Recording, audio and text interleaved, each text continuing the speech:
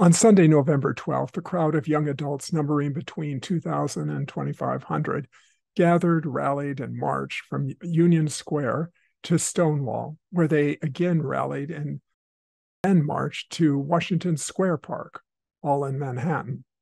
The sounds that follow are a sampling of the speeches given at all three locations. Homemade signs expressing solidarity with queer Palestinians in their freedom struggle were abundant. The march was organized by the Queer Solidarity Action Group. Ceasefire now! Ceasefire now! Ceasefire now! Ceasefire now! No pride in apartheid! No pride in apartheid! No pride in apartheid! No pride in apartheid! No pride in apartheid! No pride in apartheid! Every single day, every single hour, every single second that our representatives here in the U.S. government do not call for a ceasefire, more Palestinian lives are extinguished. We know there is no such thing as queer liberation or trans liberation without a liberation of Palestine. Who know that you can put a rainbow flag on a cop car and it is still a cop car?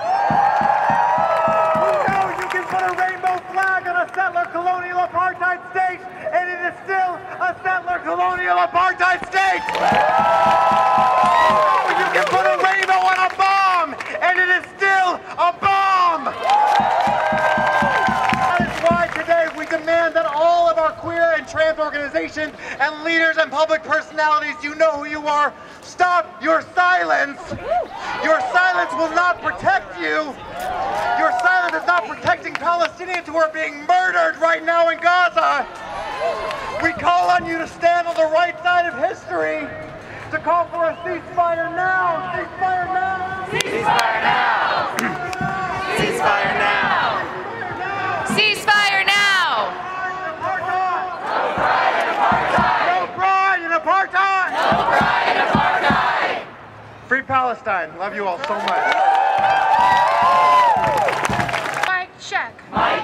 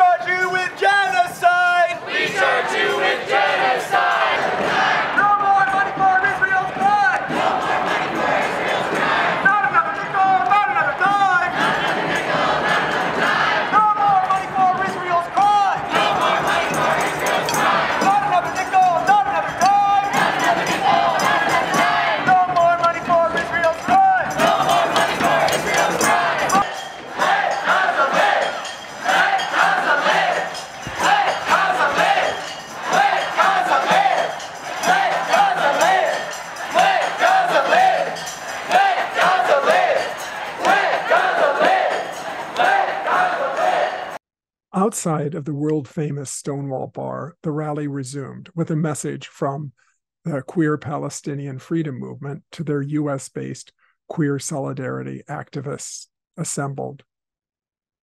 Mic check! Mic check! Mic check! Mic check!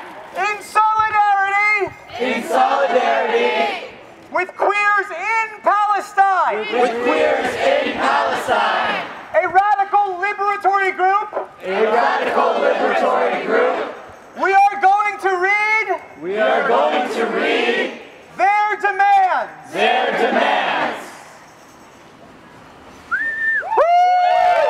Free, free Palestine! Free, free, free Palestine! Free, free, free Palestine! Free, free Palestine! Free, free Palestine! Free, free, free Palestine! Free, free, free Palestine!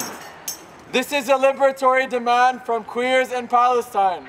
This is a liberatory demand from queers in Palestine. I don't know if you're gonna be able to repeat all this, so. Just read it. I feel like you can just read it. We write this as workers, students, farmers, parents, as Palestinians, as queer Palestinians. We write this not because our queerness exceptionalizes our positions, but because in the same way we have been othered as queers.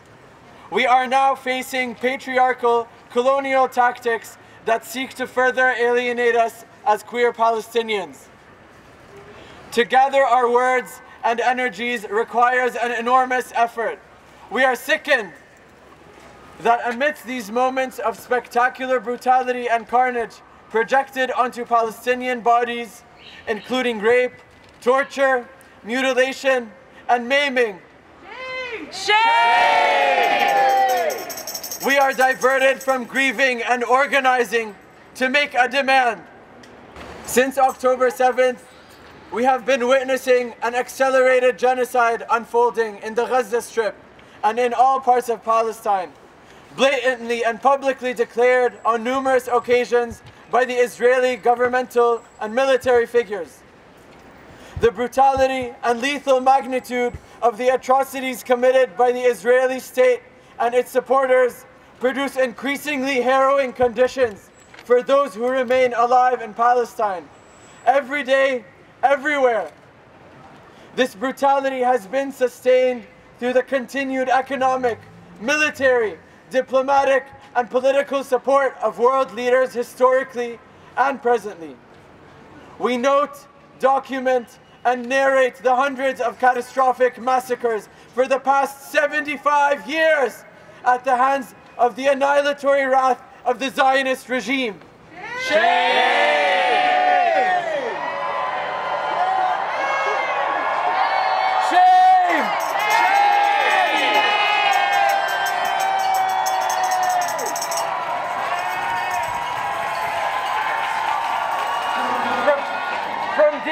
Yassin to the Tantura massacre of 1948, upon which Israel's foundation is based, to the Kafr Qasim massacre in 1956, to the Sabra and Shatila massacre of 1982. And this is just to name a few. There is no possibility of any liberatory political and social movement to achieve life and dignity if it is aligned with the genocidal death machine of Israel.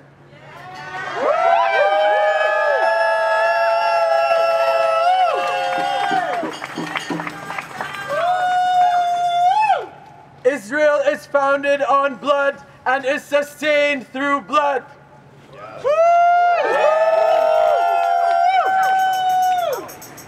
During these times, and in line with its long-standing exploitation of liberal identity politics, Israel has been weaponizing queer bodies to counter any support for Palestine and any critique of its settler colonial project. Israelis, politicians, organizations, and quote-unquote civilians have been mobilizing colonial dichotomies such as quote-unquote civilized and barbaric, human and animal, and other dehumanizing binaries as a discourse that legitimizes the attacks on Palestinians. Within its settler colonial rhetoric, Israel seeks to garner and mobilize support from Western governments and liberal societies by portraying itself as a nation that respects freedom, diversity, and human rights, that is fighting a monstrous and oppressive society, illuminated clearly through the declaration of the Prime Minister of Israel, quote, there is a struggle between the children of light and children of darkness, between humanity and the law of jungle.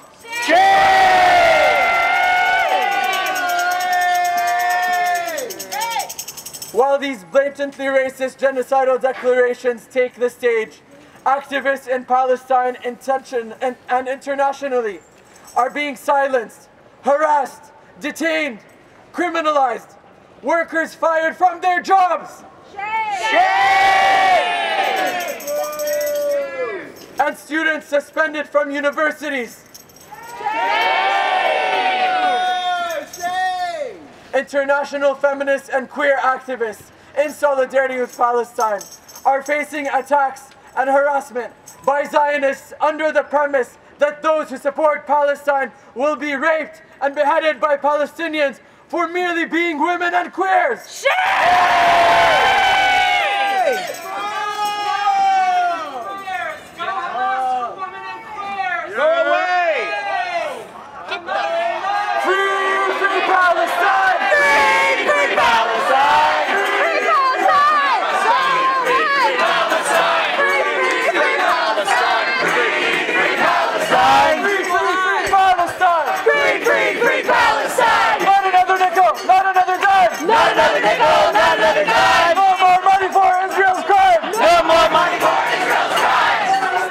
The speech was briefly disrupted by a young counter demonstrator wearing a yarmulke, but he was largely ignored by the crowd. Mic check! Mic check! Mic check! Mic check! So we're almost done. All We're almost done. right. So um, we're almost done, but I just want to finish by reading the last part of the demands, and then um, please follow queer. That's the. Shut up! Shut up!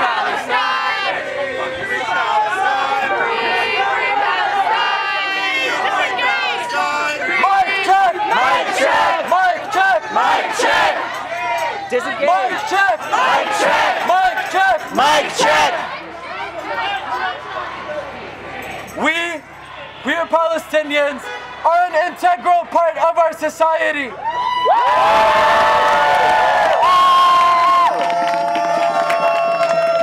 And we are informing you from the heavily militarized alleys of Jerusalem to Al-Huwara scorched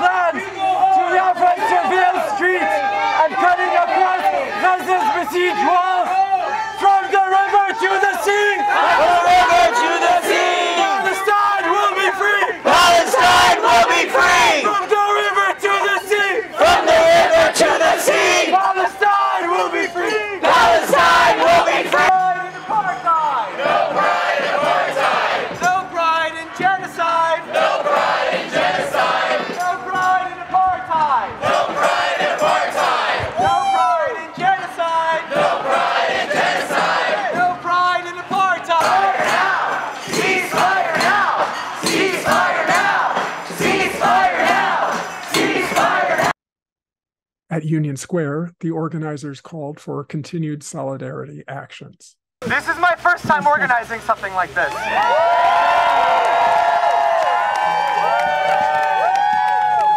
And several of the marshals, it was their first time marshaling. Some of you out here, maybe it's your first time marching. If you are angry right now, if you are devastated right now, you should be. You should angry. You can't be whole and be separate at the same time. Use that anger Thank you. and organize like you never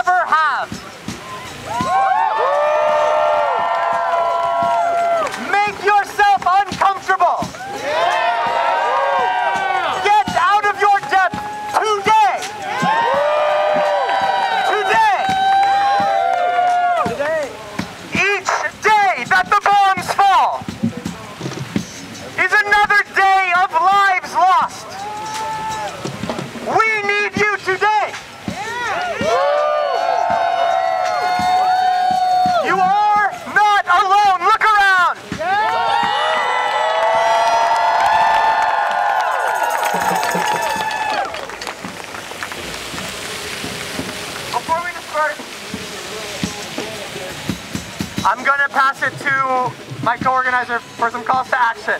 Thank you so much for being here.